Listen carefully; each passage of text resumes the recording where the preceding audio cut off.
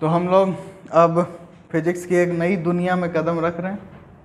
सबसे पहला पार्ट तुम्हारा इलेक्ट्रोमैग्नेटिज्म था। सात चैप्टर पढ़े, फिर आठवां इलेक्ट्रोमैग्नेटिक वेव्स था। जो अभी नहीं पढ़े हम लोग, बाद में पढ़ लेंगे, कोई दिक्कत नहीं उसका। ठीक है, फिर हमने ऑप्टिक्स देखा रे ऑप्टिक्स वेव ऑप्टिक्स तो ये फिजिक्स की एक दूसरी दुनिया थी। फिर तीसरी दुनिया में कदम रखा डुअल नेचर एटम्स न्यूक्लियाई ये अपना मॉडर्न फिजिक्स हो गया। तो अब हमारे हैं सेमीकंडक्टर फिजिक्स में। आसान भाषा में बोलो तो इलेक्ट्रॉनिक्स इलेक्ट्रॉनिक इक्विपमेंट से तुम लोग, तुम्हारी ज़िंदगी चल रही है। आसान भाषा में बोलूँ तो अगर मैं तुमसे तुम्हारा मोबाइल ले लेता हूँ तो तुम्हारे प्राण भी निकल सकते हैं।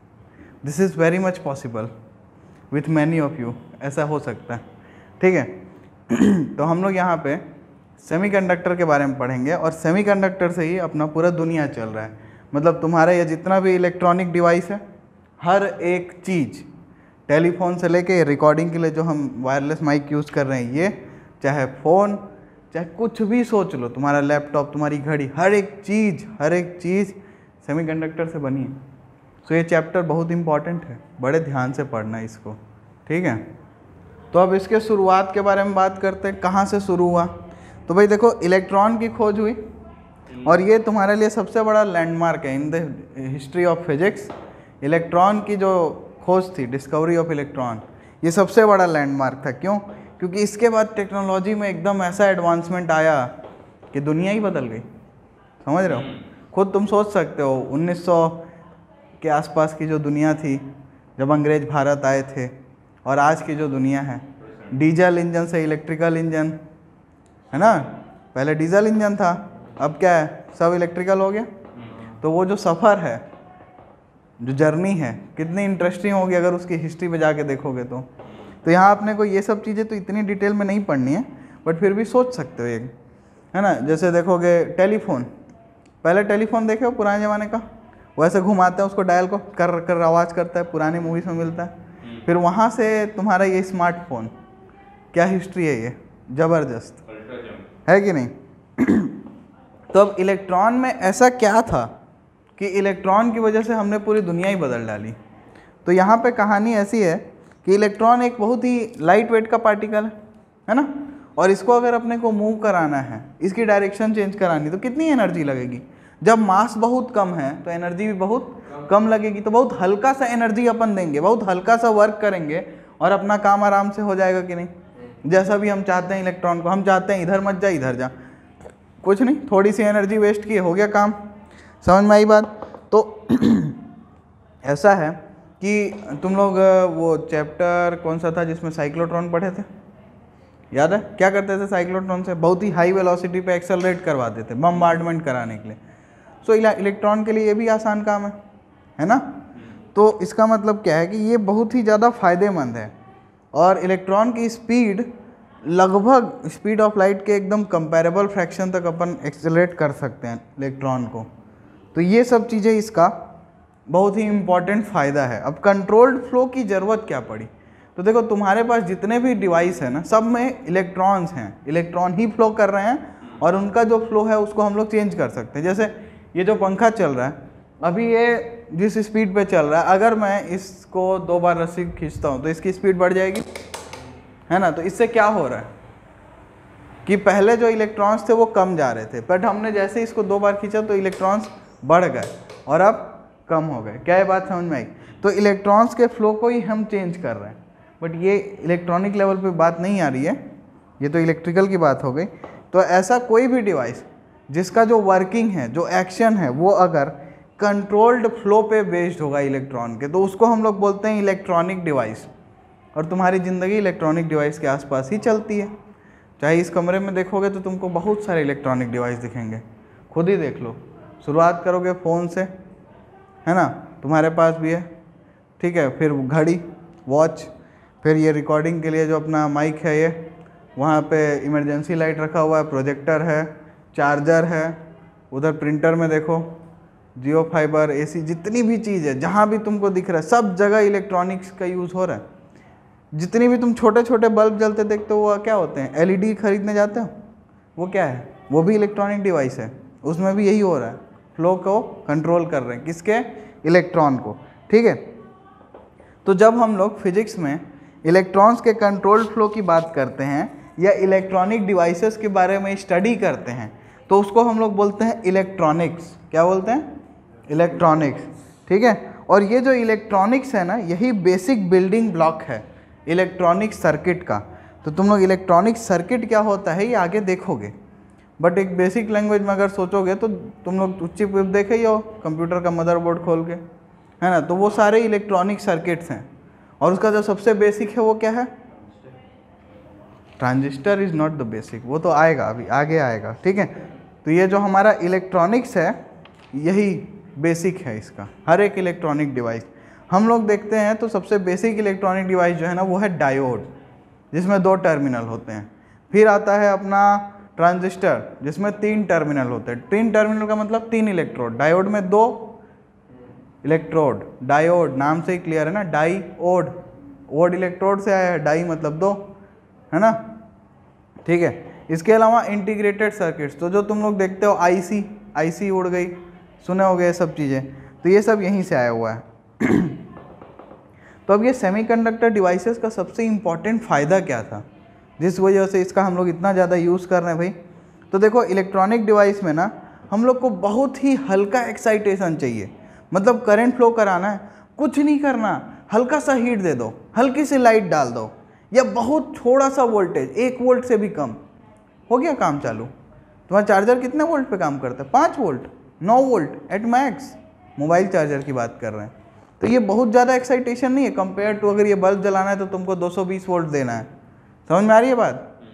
ठीक है तो इसके अलावा, देखो स्टोरी जो शुरू हुई थी ना इलेक्ट्रॉनिक्स की, उसकी स्टोरी शुरू हुई थी वैक्यूम ट्यूब से।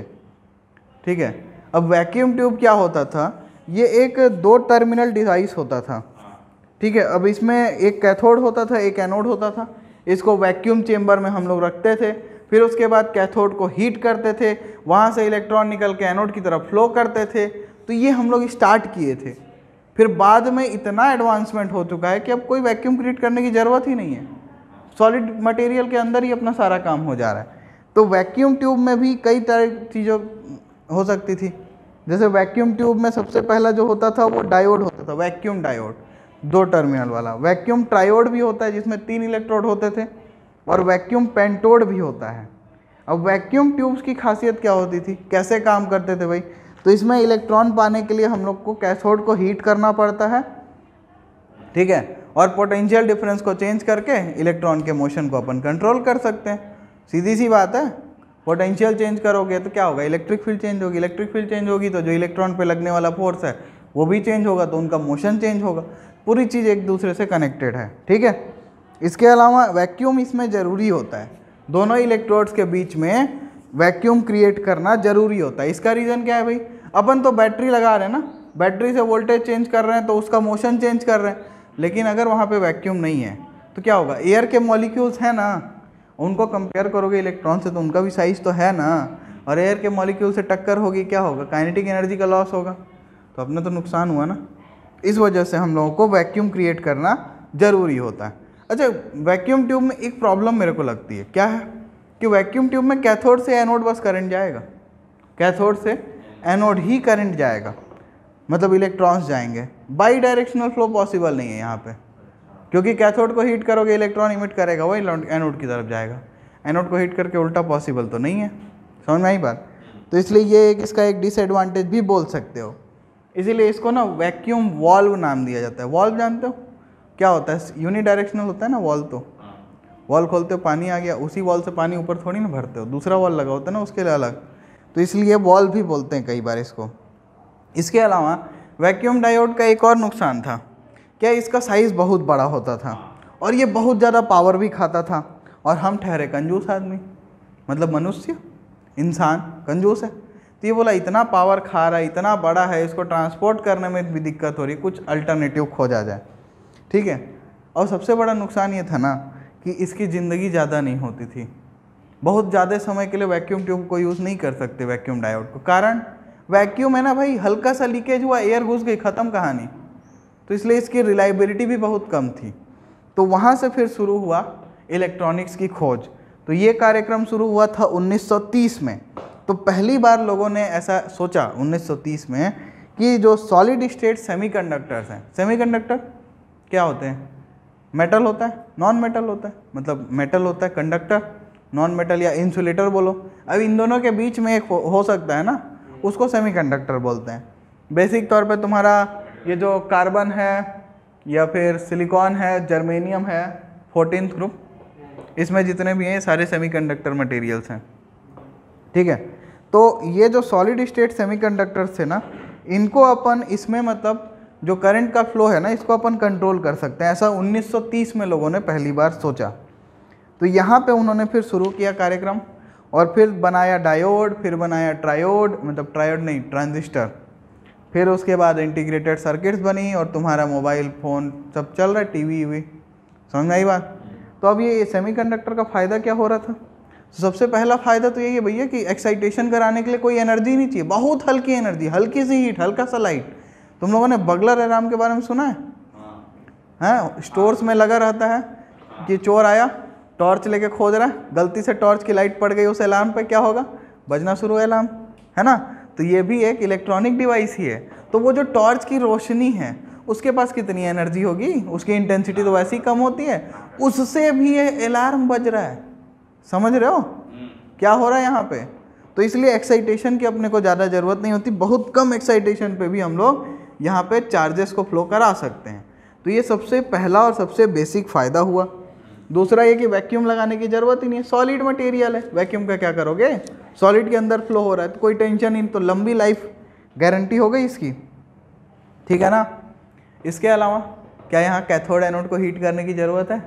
ना, वो तो उसमें थी ना भाई। क्योंकि कैथोड हीट करेंगे, फिर वैक्यूम में फ्लो होगा इलेक्ट्रॉन यहाँ क्या ज़रूरत है? यहाँ तो लगाया इलेक्ट्रिक फ़ील्ड फटाफट कार्यक्रम चालू। है ना? तो यहाँ पे ना तो कैथोड हीटिंग की ज़रूरत पड़ी मतलब ना तो इंतज़ार करने की ज़रूरत पड़ी इंस्टेंटेनियस एक्शन हुआ यहाँ। समझ में आई बात? ठीक है, इसके अलावा एक चीज़ और देख सकते हो कि भाई, तुम्हारा मोबाइल कितना बड़ा है? तुम्हारे हाथ में आ जाता है? मतलब काफ़ी छोटा है? कन्वीनियंट साइज़ है है ना? और पावर कितनी खाता है? बहुत कम, है ना?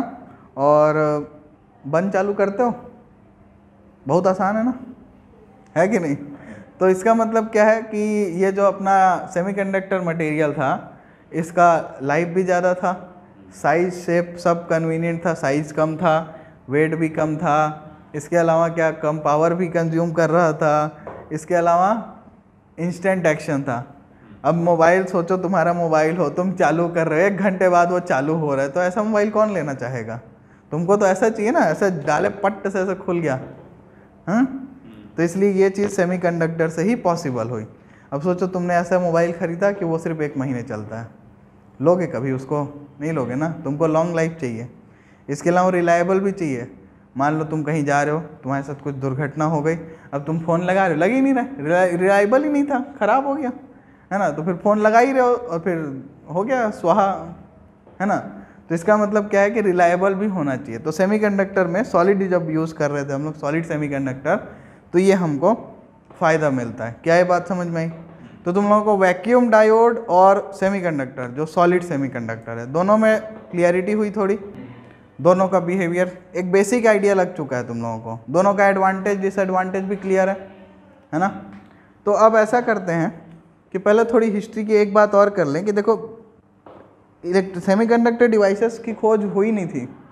उससे पहले भी एक नेचुरल क्रिस्टल मिलता था हम लोगों को गैलेना जो कि होता क्या था? लेड सल्फाइड का ये और है। तो ये लेड सल्फाइड जो है, इसका यूज़ करते थे। और इसमें मेटल कॉन्टैक्ट्स लगाते थे और इससे हम लोग रेडियो वेव्स की खोजते खोजते थे रेडियो वेव्स एक्चुअली क्या होता है, जैसे तुम लोग जानते हो वो क्या? आर्मी वार्मी वाली स्टोरी तो पहाड़ वहाड़ पे जाते हैं रेडियो से टेलीकम्युनिकेशन करवाते हैं। तो पुराने ज़माने की बात है। तो वहाँ भी ये चालू हो चुका था। तो रेडियो वेव्स खोजने के लिए जैसे दुश्मन वाले अपना भेज रहे हैं तो वहाँ पे फिर गैलेना लगाए उसमें मेटल कॉन्टैक्ट्स लगाए और उससे देखे कुछ करंट वरेंट फ्लो हुआ तो भाई आसपास कुछ है खोजो। ठीक है तो यही चलता था स्टोरी अब सेमीकंडक्टर का सबसे बड़ा फ़ायदा ये हुआ था कि ये बहुत छोटा था। तुम लोग सुने होंगे तुम्हारा कंप्यूटर मोबाइल की बात करते हैं कंप्यूटर उतना सबको आइडिया नहीं रहता। मोबाइल में तुम लोग वो चिप इतने नैनोमीटर का है। है ना? कुछ थोड़ा बहुत याद है? उसकी फ्रिक्वेंसी उसका सब कुछ दिया रहता है ना? तो वो जो बोलता है, वो क्या बोलता है? कि इतने नैनोमीटर तो उसमें एक ट्रांजिस्टर उतने साइज़ में लगा होता है। समझ रहे हो? कितने छोटे में एक ट्रांजिस्टर लगा हुआ है। ये ट्रांजिस्टर क्या है? एक इलेक्ट्रॉनिक डिवाइस है। ये तुम्हारे सिलेबस में नहीं है। पहले था। पहले ट्रांजिस्टर था। बट अब हट चुका है। तो एक ट्रांजिस्टर उतने छोटे से स्पेस में लगता है। और कई हज़ारों ट्रांजिस्टर मिलके तुम्हारा मोबाइल बने हुए कई सारे। समझ में आ रही है बात? तो कितना छोटा साइज़ होगा तुम एज्यूम कर पा रहे हो। इट्स जस्ट लाइक कि जब शुरुआती पेन ड्राइव बनी थी ना तो उस पेन ड्राइव का साइज़ इस कमरे के बराबर था, इस हॉल के बराबर उसका साइज़ था। लेकिन आज, और उसका साइज़ कितना था? एक एम का पेन ड्राइव था वो। One zero two four K B और आज तुम्हारे हाथ में आ जाता है कितना? One T B two T B ten T B जितना चाहो उतने का हार्ड डिस्क रख सकते हो। एस एस डी आ गया। एस एस डी क्या है? सॉलिड स्टेट ड्राइव मतलब वहाँ किसका यूज़ हो रहा है? सेमीकंडक्टर जितना भी सॉलिड स्टेट है वो सेमीकंडक्टर है। पहले क्या था? पुराने ज़माने में एच आता था हार्ड डिस्क ड्राइव उसमें क्या होता था? कॉपी पे रखा मतलब वो जो प्ले उसमें लिखा रहता था सारा डाटा उस डिस्क में। वो डिस्क घूमती थी, उस पर लेज़र होता था, उसको डाटा को रीड करता था। बहुत टाइम वेस्ट होता था। ठीक है? फ्लॉपी डिस्क हाँ। तो उसके बाद अपन आए SSD में। एस में क्या होता है? सॉलिड स्टेट ट्रांजिस्टर्स लगे होते हैं। इनमें स्टोरेज कैपेबिलिटी बहुत फास्ट होती है। इसीलिए जब लैपटॉप खरीदते हो तो एस में स्टोरेज रहता है तुम्हारा सी ड्राइव का। बाकी सब कहाँ रहता है? एचडीडी में रख लो, क्या फ़र्क पड़ता है? ठीक? तो अब बात करते हैं अपन। ये तो हो गई कहानी। इससे अपने कुछ करना नहीं। कहानी थी। तो अपन अब आगे बढ़ते हैं और क्लासिफिकेशन की बात करते हैं। तो सबसे पहले क्लासिफाई किया गया इसको। बहुत ही बेसिक तरीके से। वो बेसिक तरीका क्या था? वो बेसिक तरीका था क्लासिफिकेशन में। वो बेसिक तरीका था अपना on the basis of electrical conductivity कि भाई कौन कितना कंडक्ट कर रहा है। तो देखो, एक होता है तुम्हारे पास कंडक्टर जानते हो? तो ये कंडक्टर कैसा होता है भाई? इसका रजिस्टिविटी बहुत लो होता है और कंडक्टिविटी बहुत हाई होता है। ठीक है ना? ये मालूम है तुम लोगों को? दूसरा तुम्हारे पास क्या होता है? इंसुलेटर इंसुलेटर कैसा होता है? एकदम उल्टा होता है इसका और क्या? है। ना? तो रजिस्टिविटी हाई और कंडक्टिविटी लो ठीक है कि नहीं? बट एक ऐसा हो सकता है ना जिसकी प्रॉपर्टीज़ इन दोनों की इसके इंटरमीडिएट में हो। है ना? तो पहले मैं तुम लोगों को कंडक्टर का जो कंडक्टिविटी है इसका रेंज क्या होता है? मतलब रजिस्टिविटी तो ये टेन की पावर माइनस टू से टेन की power minus eight ohm metre के रेंज में होती है अप्रॉक्सीमेटली और इसकी जो कंडक्टिविटी है, ये ठीक उल्टा हो जाएगी. टेन की पावर टू से टेन की power eight siemens per metre सीमेन पर मीटर ठीक है, मालूम है ना? ओम का उल्टा सीमेन और मीटर का उल्टा मीटर इनवर्स ठीक है, ये resistivity rho is equal to one by sigma याद होगा चैप्टर थ्री से करेंट इलेक्ट्रिसिटी से. इंसुलेटर का क्या होता है? तो इंसुलेटर का जो रेंज होता है, ये रजिस्टिविटी जो है वो टेन की पावर एट ओम मीटर के रेंज में होती है। Approximately all the data sir approximate data तो कंडक्टिविटी टेन की power minus eight ohm metre के। समझ पा रहे हो? अब कंडक्ट इस भाई साहब की कंडक्टिविटी है ही नहीं तो क्या ही कंडक्ट करेगा बेचारा? समझ रहे हो ना? अब क्या करते हैं, अब ऐसा है कि अपने पास जो तीसरा और जो इम्पोर्टेंट जो हम अभी पढ़ रहे हैं सेमीकंडक्टर आया। सेमीकंडक्टर का क्या है? कि इसका जो प्रॉपर्टी है ना, चाहे वो रजिस्टिविटी हो, चाहे कंडक्टिविटी हो, ये दोनों के दोनों इंटरमीडिएट होती हैं। तो रजिस्टिविटी जो है वो टेन की पावर फाइव से टेन की पावर ज़ीरो ओम मीटर के रेंज में होती है, और जो कंडक्टिविटी है वो टेन की पावर माइनस फाइव से टेन की power zero siemens per metre के रेंज में होती है। तो ये दोनों इंटरमीडिएट है, चाहे रजिस्टिविटी हो, चाहे कंडक्टिविटी हो, ये दोनों इसके बीच में है। तो तुम लोग सोचोगे, सर, बीच में कैसे काम करता होगा? मतलब दोनों काम करेगा क्या? कंडक्टर का भी, इंसुलेटर का भी। तो हाँ दोनों काम करता है। कैसे? रूम टेम्परेचर पे मतलब ज़ीरो कैलविन पे बात करते हैं ज़ीरो डिग्री सेल्सियस पे। तो क्या होता है मतलब नॉर्मल टेम्परेचर की बात कर रहे हैं। तो ये इंसुलेटर की तरह बिहेव करता है। इसकी रजिस्टिविटी बहुत हाई होती है। लेकिन जैसे ही टेम्परेचर बढ़ता है तो इसमें फ्री इलेक्ट्रॉन्स आ जाते हैं। एक होल होता है, वो भी जनरेट होता है, पढ़ेंगे अपन आगे होल्स क्या होते हैं उसके बारे में। तो इसकी वजह से इसकी कंडक्टिविटी बढ़ने लगती है और ये जैसे ही टेम्परेचर बढ़ता है, इसकी कंडक्टिविटी बढ़ती है। समझ रहे हो? मतलब जितना ज़्यादा टेम्परेचर उतना ज़्यादा कंडक्टिविटी उतना ज़्यादा ये करंट कंडक्ट करेगा। तो इस चैप्टर में हम लोगों को मेन चीज़ें क्या क्या पढ़नी है भाई? तो हम लोगों को इसमें डायोड पढ़ना है डायोड के यूजेस पढ़ने हैं बेसिकली तुम लोगों को सबसे पहले तो स्टार्ट क्लासिफिकेशन ही करवा रहे हैं। ठीक है? अब सेमीकंडक्टर की जो रजिस्टिविटी होती है वो मेटल से ज़्यादा होती है। ठीक है? और इसका टेम्परेचर कोफिशिएंट याद है? ये फॉर्मूला तुम लोगों को याद है? चैप्टर थ्री में पढ़े थे rho is equal to rho not one plus alpha delta T याद है? अल्फ़ा क्या था? टेम्परेचर कोफिशिएंट ऑफ़ यहाँ पे रजिस्टिविटी हम लोग यूज़ कर रहे हैं। ठीक है ना? तो ये जो अपना सेमीकंडक्टर होता है, इसका जो टेम्परेचर कोफिशिएंट ऑफ़ रजिस्टिविटी होता है ना, वो नेगेटिव भी होता है और हाई भी होता है। इसका मतलब क्या है? हुँ? कि टेम्परेचर बढ़ेगा तो रजिस्टिविटी बहुत तेज़ी से घटेगी, क्योंकि अल्फ़ा नेगेटिव है। इसका मतलब क्या है? कि फॉर्मूला क्या बनेगा? Rho not one minus alpha delta T सोचो, ये वैल्यू जितनी बढ़ेगी, ये नेगेटिव आइटम उतना बढ़ेगा। और ये आइटम उतना घटेगा। जितना छोटा चीज़ से मल्टीप्लाई करोगे रजिस्टिविटी उतनी छोटी तो कंडक्टिविटी उतनी ज़्यादा। क्या ये बात समझ में आई?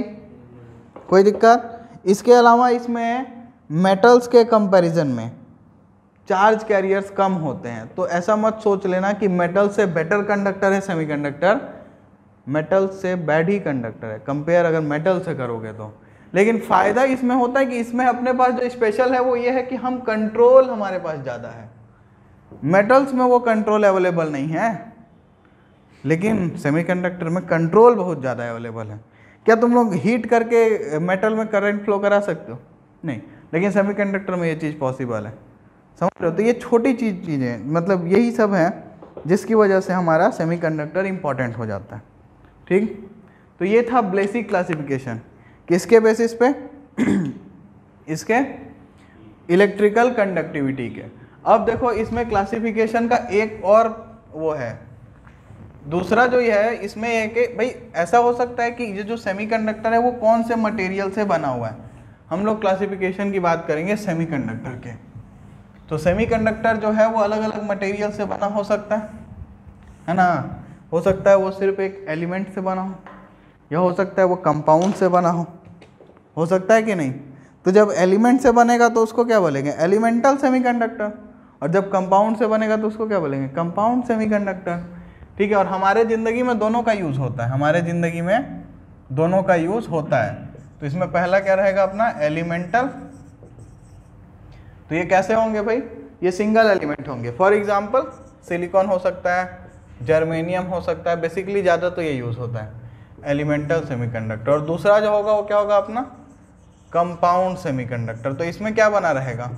इसमें कंपाउंड यूज़ होता है, जैसे सीडीएस हो गया, या गैलियम आर्सेनाइड सबसे ज़्यादा यूज़ होता है इसमें, या इंडियम फॉस्फाइड भी होता है तो इस सारे और भी होते हैं। इसके अलावा, पहले तो ऑर्गेनिक सेमीकंडक्टर्स का यूज़ नहीं होता था बट अब टेक्नोलॉजिकल एडवांसमेंट हो चुका है इतना कि हम लोग ऑर्गेनिक पॉलीमर्स का यूज़ करके भी बना पा रहे हैं सेमीकंडक्टर ठीक है? तो ऑर्गेनिक पॉलीमर्स में तुम्हारा एग्जांपल है पॉलीएनिलीन या पॉलीपायरोल या पॉलीथायोफिन ये सारा एग्जांपल है इसका। अब इसको मैं लिखवाने वाला नहीं हूँ क्योंकि पूछता तो है नहीं। तो अभी हम लोग एलिमेंटल और कंपाउंड दोनों को तो यूज़ करते हैं बहुत ज़्यादा। लेकिन 1990 के बाद से, अभी अभी ताज़ा ताज़ा मतलब एक तरीके से शुरू हुई है कहानी कि ये जो पॉलीमर्स है ना सेमी कंडक्टिंग पॉलीमर्स डेवलप हो गए हैं और इनका यूज़ अभी किया जा रहा है, जिसको अपन पॉलीमर इलेक्ट्रॉनिक्स बोल सकते हैं। ठीक? कोई दिक्कत इस बात में? तो अब देखो, ऐसा है कि ये जो, ये तो रहा इसका क्लासिफिकेशन सेमीकंडक्टर का किसके बेसिस पे है भैया? ये क्या बेसिस क्या था यहाँ पे? यहाँ पे हम लोग क्या देख रहे थे? कि वो किस चीज़ से बना हुआ है? मतलब उसके बोला जाए केमिकल कंपोजिशन पे। ठीक है? एक और बेसिस पे हमको इसको क्लासिफाई कर सकते हैं, और वो है कि भाई इसमें करंट कौन फ्लो करा रहा है? मतलब on the basis of nature on the basis of nature of charge carriers या फिर सोर्स भी बोल सकते हैं। Source and nature of charge carriers तो देखो, अभी इस ये वाली चीज़ इतना ज़्यादा डिटेल में तुम लोगों को समझ में नहीं आएगी। अभी क्लासिफिकेशन है, उसको लिख के समझ लो अभी। ठीक है? सबसे पहले इसमें जो होता है, वो होता है इंट्रेंसिक इंट्रेंसिक सेमीकंडक्टर तो इंट्रेंसिक सेमीकंडक्टर को हम लोग प्योर सेमीकंडक्टर भी बोलते हैं। और इसमें होता क्या है? तो इसमें अपन एक कोई भी एलिमेंट यूज़ करते हैं। कोई भी मटेरियल यूज़ हो सकता है। बट वो ज़्यादा कैसा होना चाहिए? तो वो एकदम प्योर होना चाहिए। प्योर मतलब ऐसा कि उसमें इम्प्योरिटी अगर एक इम्प्योरिटी है तो वो at least ten to power ten atoms में एक इम्प्योरिटी हो। समझ रहे हो? मतलब ऑलमोस्ट प्योर समझ में आई बात की नहीं? अब इसमें जो कैरियर्स होते हैं, वो इलेक्ट्रॉन्स होते हैं और होल्स होते हैं, दोनों होते हैं। ठीक है? और अपन हीट थर्मल एक्साइटेशन की वजह से इसको जनरेट कर पाते हैं। और होल्स क्या होते हैं? तो होल्स जो होते हैं वो एक्चुअली इलेक्ट्रॉन जहाँ से गायब हो जाता है ना, वो जगह एक वैकेंसी क्रिएट हो जाती है। सॉलिड स्टेट में वैकेंसी क्या होती है, समझते ही हो तुम लोग? तो वो जो वैकेंसी है ना, वो एक पॉजिटिव चार्ज की तरह बिहेव करती है और वो कंडक्शन में पार्ट लेती है। कैसे पार्ट लेती है, क्या करती है, वो आगे हम लोग पढ़ेंगे इस चैप्टर में। अभी बस ये बेसिक समझ में आया क्या? और यहाँ पे ध्यान ये है कि इंट्रेंसिक सेमीकंडक्टर में कुछ भी मिला नहीं होता है एकदम प्योर होता है। तो इसमें नंबर ऑफ़ इलेक्ट्रॉन होता है नंबर ऑफ़ होल्स के। अभी ये भी नहीं समझ में आ रहा होगा उतना अच्छे से बट आगे आएगा। जैसे ही अपन होल्स अभी ये जैसे सेमीकंडक्टर को और डिटेल में देखेंगे, इनका स्ट्रक्चर देखेंगे क्रिस्टल लेटिस देखेंगे तो ये सारी चीज़ें समझ में आएँगी। दूसरा होता है सेमीकंडक्टर एक्सटेंसिक सेमीकंडक्टर तो ये जो एक्सटेंसिक सेमीकंडक्टर है ना, ये प्योर नहीं होता। इसमें हम लोग जानबूझ के कुछ कम मतलब कुछ एक रेगुलेटेड अमाउंट में, कम अमाउंट में बोलो तो हम लोग इम्प्योरिटी डालते हैं। और वो इम्प्योरिटी ना है उसका दोनों का नेचर अलग अलग होता है। तो अलग अलग नेचर का मिलाने से अपने को अलग अलग टाइप का सेमीकंडक्टर मिलता है। ये अपन आगे देखने वाले हैं। अभी बेसिक यही था। तो बेसिक ये है कि एक्सटेंसिक सेमीकंडक्टर कैसा है? तो ये इम्प्योर सेमीकंडक्टर है। और इसमें हम लोग क्या करते हैं? हम लोग ये जो इंट्रेंसिक सेमीकंडक्टर है ना, इसकी कंडक्टिविटी बढ़ाने के लिए डोपिंग करते हैं। ठीक है, जैसे स्पोर्ट्स में जो प्लेयर्स परफॉर्मेंस अपना इन्हेंस करते हैं तो डोपिंग करते हैं। बाकी अलग बात है कि डोपिंग अथॉरिटी फिर उनको पकड़ के बिठा देती है। बट कर, क्या चीज़ करते हैं? वो अपना परफॉर्मेंस इन्हेंस करने के लिए। अब इंटेंसिक सेमीकंडक्टर था, उसकी कंडक्टिविटी ज़्यादा नहीं थी तो उसका परफॉर्मेंस इन्हेंस करना था हमको। कंडक्टिविटी बढ़ाना था। क्या किए? इम्प्योरिटी मिला दिए। इम्प्योरिटी मिला दिए तो ये जो नंबर ऑफ़ इलेक्ट्रॉन्स है या नंबर ऑफ़ होल्स है, वो बढ़ गया होगा। बढ़ गया तो ज़्यादा ही कंडक्टिविटी हो गई। सिंपल सी बात तो यही है। डोपिंग क्यों कर रहे हैं? तो ये बात समझ में आई क्या? मतलब जो मोबाइल चार्ज कैरियर्स हैं, जो चार्ज कैरियर्स मूव करने वाले हैं, उनकी मात्रा हम लोग इसमें बढ़ा लिए। क्या ये बात समझ में आई? तो यहाँ पे यहाँ पे जो करंट का कंडक्शन है ना, वो उसके अंदर जो एटम्स है, उन्हीं की वजह से होता है मोस्टली किसकी वजह से होता है? जो इंट्रेंसिकली प्रेजेंट होंगे, उसके पास होंगे, ठीक? लेकिन यहाँ पे जो करंट का कंडक्शन होता है ना वो जो एक्सटर्नल फॉरेन एटम्स आए ना, जो पड़ोसी लोग आए, दूसरे देश से आए, वो लोग यहाँ पे कंडक्शन करवाते हैं। तो एक्सटेंसिक सेमीकंडक्टर का बेसिक तुम लोग को अभी समझ में आया, बहुत हल्का सा मतलब क्लासिफिकेशन है। क्या क्या पहला क्लासिफिकेशन क्या है भाई? मेटल नॉन मेटल और सेमीकंडक्टर क्या होता है? किसके बेसिस पे किए? इलेक्ट्रिकल प्रॉपर्टीज़ के। उसके बाद हम लोग क्या देखें कि भाई जो क्लासिफिकेशन है, अगर हम जो नेचर है मटेरियल का, जिस मटेरियल से उसको बनाए हैं, उसके हिसाब से देखें तो तीन प्रॉपर्टी हो टाइप का हो सकता है। कैसा कैसा भाई? एलिमेंटल कंपाउंड और ऑर्गेनिक अब अगर हम लोग बात करें कि भाई कौन करंट कंडक्ट करवा रहा है और करंट के लिए चार्ज कैरियर्स आ कहाँ से रहे हैं? तो मेटल्स में कौन होता है चार्ज कैरियर इलेक्ट्रॉन्स कौन से? जो आउटर मोस्ट ऑर्बिट में होते हैं फ्री इलेक्ट्रॉन्स जो बाउंड लूजली बाउंड होते हैं. तो यहाँ सेमीकंडक्टर में एक दूसरा चीज़ भी आता है जो कि होता है होल वो क्या होता है? आगे देखने वाले हैं हम लोग. तो इसके बेसिस पे दो टाइप होता है अपना इंट्रेंसिक और एक्सटेंसिक क्या ये बात समझ में आई? सो नेक्स्ट क्लास में हम लोग वैलेंस बॉन्ड मॉडल देखेंगे। या वैलेंस बॉन्ड मॉडल में होता क्या है? तो हम लोग इसका लेटेस्ट स्ट्रक्चर समझेंगे कि कैसे बॉन्डिंग हो रही है, कैसे सिलिकॉन का स्ट्रक्चर है, कैसे उसमें डोपिंग करने पे क्या हो रहा है, कैसे हमको इलेक्ट्रॉन मिल रहा है, कैसे हम लोगों को होल मिल रहा है। ठीक है तो आज के लिए इतना ही। इन्जॉय करो।